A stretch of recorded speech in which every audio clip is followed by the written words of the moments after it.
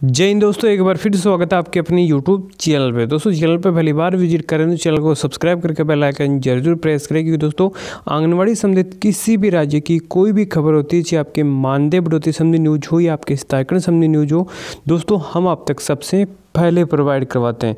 तो बहनों के लिए जल्दी ही बड़ी खुशखबरी आने वाली है। कार्यकर्तियों के मानदेय में है, आपकी बम्पर बढ़ोतरी करने की तैयारी है। वो पूरी हो चुकी है। कई राज्यों में बहनों के मानदेय में आपकी है बढ़ोतरी होने वाली है और इसका जल्द ही आपका ऐलान होने वाला है क्योंकि लगातार है कई राज्यों में बहनों का अनशन और धरना जारी है।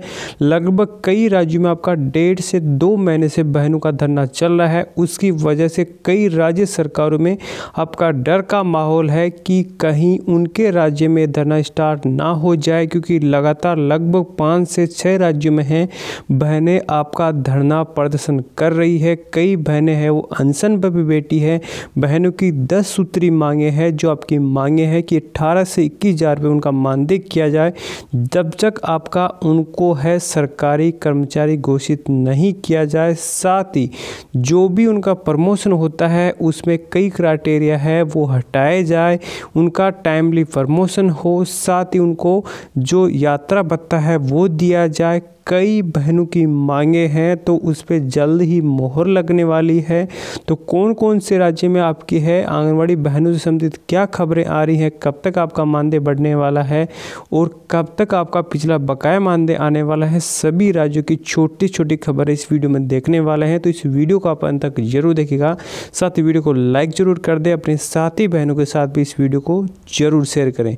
साथ ही वीडियो को लाइक करने के बाद चैनल पर नए हैं तो चैनल को सब्सक्राइब करके बेल आइकन ज़रूर ज़रूर प्रेस करें, क्योंकि आंगनबाड़ी संबंधित किसी भी राज्य की कोई भी छोटी छोटी खबर होती है, लगातार हम आप तक आप तक सबसे पहले पहुंचाते हैं। साथ ही आपसे एक छोटी सी रिक्वेस्ट, आप कौन से राज्य में आंगनबाड़ी में कार्य करते हैं? साथ ही हाल फ़िलहाल में आपको कितना मानदेय मिल रहा है, वो भी कमेंट बॉक्स में ज़रूर ज़रूर बताएँ। तो सभी राज्यों की सभी खबरें पूरा डिटेल से देख लेते हैं। पहली खबर है आपकी, हम तो आपके आपके समय में आंदोलन पर थे, आज भी हैं। तो पूरा न्यूज़ देख लेते हैं कि आपका पूरा न्यूज़, उत्तराखंड का आपका न्यूज़ है लगातार बहनें हैं, वो आंदोलन आपकी कर रही है। अनशन पर बेटी हैं, मांगों को लेकर धन्य आमरण अनशन पर बेटी आंगनबाड़ी कार्यकर्ताओं के बीच पहुँचे पूर्व मुख्यमंत्री हरीश रावत को आक्रोशित आंगनबाड़ी कार्यकर्ताओं ने आईना दिखाते हुए कहा कि हम आपके समय भी हैं, वो आंदोलन पर थे और अभी भी हैं। बहनों की मांगे क्यों नहीं सुनी जाती? बहनों को ये कहने पर यह कहा जाता है कि आप तीन घंटे काम करती है, बहनें, हर जो आपकी योजना है वो जन जन तक पहुंचाती है। चाहे उनको कोई भी काम दिया जाए पूरी तत्पर और निष्ठा से बहनें करती है, फिर भी बहनों को नाम मात्र मानदेय दिया जाता है। हम भी लगातार बहनों की जो भी मांगे होती है, उनको उठाते रहते हैं, उनकी मांगे हैं, वो सारी जायज़ मांगे हैं। दोनों दलों की सरकार में सिर्फ़ उन्हें झूठ आश्वासन दिए हैं, चेतावनी दी कि तब तक हार नहीं मानेंगे जब तक उनकी मांगें पूरी नहीं हो जाती। पूर्व मुख्यमंत्री और कांग्रेस के वरिष्ठ नेता हरीश रावत सोमवार को आंगनबाड़ी कार्यकर्ती, सेविका, मिनी कर्मचारी संगठन के बैनर तले हिंदी भवन के सामने धरना और आमरण अनसर पर बैठी आंगनबाड़ी कार्यकर्ताओं को समर्थन देने पहुँचे। पूरी सीएम ने कहा कि उनकी सरकार ने है, आंगनबाड़ी कार्यकर्ता कार्यकर्ताओं को है मानदेय बढ़ा दिया था। इसके बावजूद भाजपा शासनकाल में आंगनबाड़ी कार्यकर्ताओं को बढ़ा हुआ मानदेय नहीं दिया जा रहा। साथ ही कांग्रेस आंगनबाड़ी कार्यकर्ताओं की लड़ाई लड़ेगी। इस दौरान आंगनबाड़ी कार्यकर्ताओं ने हरीश रावत से कहा कि हम तो आपके समय भी आंदोलन पर थे और अभी भी आंदोलन पर है। दोनों दलों की सरकार ने हमारे साथ विश्वासघात किया है। अपनी पार्टी की कलई खुलते देख कांग्रेस ने नेता वहाँ से निकल लिए। इस दौरान पूर्व कैबिनेट मंत्री प्रसाद नेथानी, पूर्व विधायक आपके गणेश गोथियाल वरिष्ठ कांग्रेस नेता प्रभुदयाल बहुगुणा आदि मौजूद रहे। आठवें अनशन कार्यकर्ताओं को अस्पताल पहुँचाया। साथ ही देहरादून का यूनूज है, मानदेय बढ़ोतरी समेत विभिन्न मांगों को लेकर आंगनबाड़ी कार्यकर्ता पैंतालीस से हिंदी भवन के सामने धरने पर बैठी है। दस जनवरी को दो कार्यकर्ताओं ने आमरण अनशन को शुरू किया था। सोमवार को देहरादून जिलाध्यक्ष पिंकी सिंह और अंजू चंद के आमरण अनशन का क्रमशः पाँचवा तीसरा दिन था।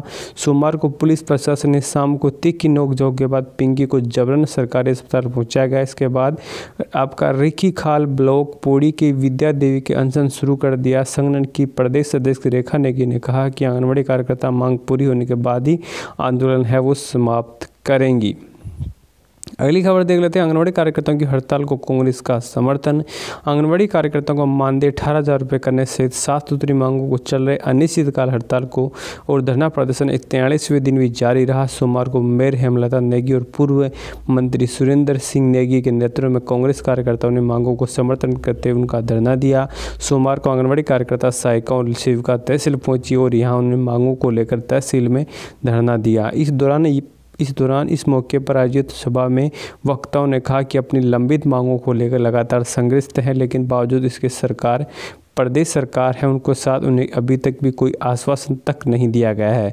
आरोप लगाते हुए कहा कि सरकार द्वारा आंदोलन को खोजने के लिए विभागीय दबाव है, वो बनाया जा रहा है। पहले जिला स्तर पर आंगनबाड़ी कार्यकर्ताओं को नोटिस भेजे जा रहे थे, लेकिन अब ब्लॉक स्तर पर भी आंगनबाड़ी कार्यकर्ताओं को नोटिस भेजकर उनका उत्पीड़न किया जा रहा है। पूर्व मंत्री सुरेंद्र सिंह नेगी ने कहा कि राज्य की विषम भौगोलिक परिस्थितियों में प्रदेश और केंद्र सरकार की महत्वाकांक्षी योजनाओं को भी धरातल उतारने के लिए आंगनबाड़ी कार्यकर्ता दिन रात मेहनत कर रही हैं।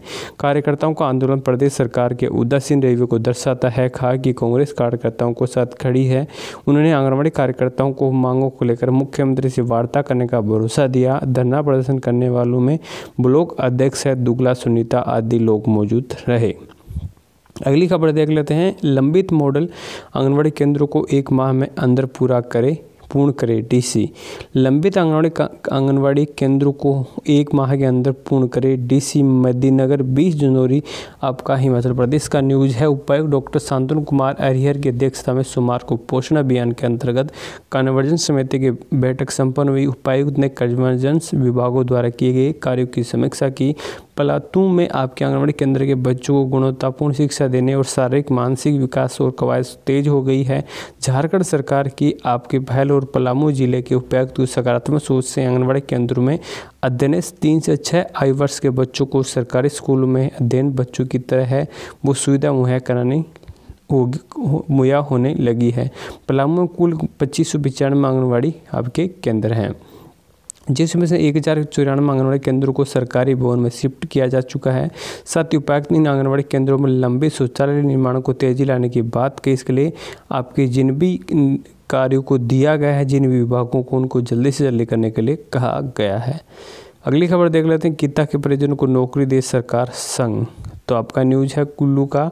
पोलियो ड्यूटी के दौरान आंगनबाड़ी कार्यकर्ता गीता देव की आकस्मिक मौत पर गहरा शोक जताया गया। आंगनबाड़ी कर्मचारी संघ कुल्लू संबंधित भारतीय मंजूर संघ की अध्यक्ष देमती राजपूत सहित जिला कार्यकारिणी के सदस्यों, ज़िले की सभी आंगनबाड़ी कार्यकर्ताओं और सहायकों ने भी शोक जताया। देमती आपके राजपूत ने कहा कि पोलियो ड्यूटी के दौरान अति दुर्गम रास्ते में बर्फ़ के पाँव फिसलने से दर्दनाक मौत हो गई थी।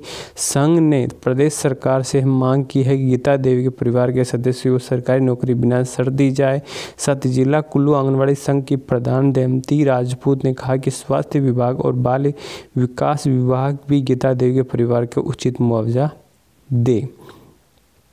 तो दोस्तों नेक्स्ट न्यूज़ हम देख लेते हैं। मांगों को लेकर आंगनबाड़ी कार्यकर्ताओं ने जुलूस निकाल कर किया प्रदर्शन। तो पूरा न्यूज़ देखते हैं क्या आपका पूरा न्यूज़ बता दें कि आंगनबाड़ी कार्यकर्ता लंबे समय से राज्य कर्मचारी घोषित करने, अठारह हज़ार रुपये प्रतिमा मानदेय, मिनी केंद्रों का उत्तीर्ण करने, साथ ही सम्मान काम के लिए सम्मान वेतन ग्रीष्मकालीन और शीतकालीन अवकाश देने और कार्यकर्ताओं को दिए गए फ़ोन से जुड़ी शर्त हटाने आदि की मांग कर रही है। साथ ही इन मांगों को लेकर आंगनबाड़ी कार्यकर्ता सेवका मिनी कर्मचारी संगठन द्वारा चरणबद्ध आंदोलन किया जा रहा है। इस क्रम में उन्होंने मंगलवार को नगर निगम के विभिन्न जगहों पर रैली निकालकर सरकार के खिलाफ प्रदर्शन किया। वही माकपा और उत्तराखंड क्रांति दल के कार्यकर्ताओं ने आंगनबाड़ी की मांग को अपना समर्थन दिया। इस दौरान हुई सभा में माकपा के सचिव महावीर प्रसाद भट्ट ने कहा कि आंगनबाड़ी शिक्षा का बेबुनियादी ढांचा तैयार करने करके देश में बच्चों को प्रशासनिक अधिकारी तैयार करते हैं। आज वही अधिकारी बड़े बड़े पदों पर बैठने के कारण उनकी मांगों को नहीं सुन रहे हैं। वही यूकेडी के संरक्षण और प्रभारी विष्णुपाल सिंह रावत ने कहा कि यूकेडी आंगनबाड़ी कार्यकर्ताओं का अपना खुला समर्थन देते हैं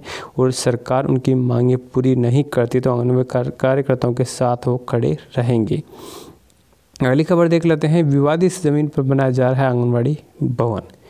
चतरा का न्यूज़ है, हंटरगंज, आपके प्रखंड के डेबो गाँव के बनाया जा रहा आंगनबाड़ी केंद्र पर ग्रामीण आपत्ति दर्ज कराई। उनका कहना है कि भवन का निर्माण विवादित भूखंड पर हो रहा है। ग्रामीण ने इस बाबत प्रखंड विकास पदाधिकारी को एक ज्ञापन सौंपते निर्माण कार्य पर रोक लगाने की मांग की। ग्रामीण ने मुख्यमंत्री जनसंवाद में इसकी शिकायत भी की थी, जिसके बाद आंगनबाड़ी केंद्र का निर्माण कार्य रोक दिया गया था, लेकिन बाद में उसे फिर से दोबारा शुरू कर दिया गया था।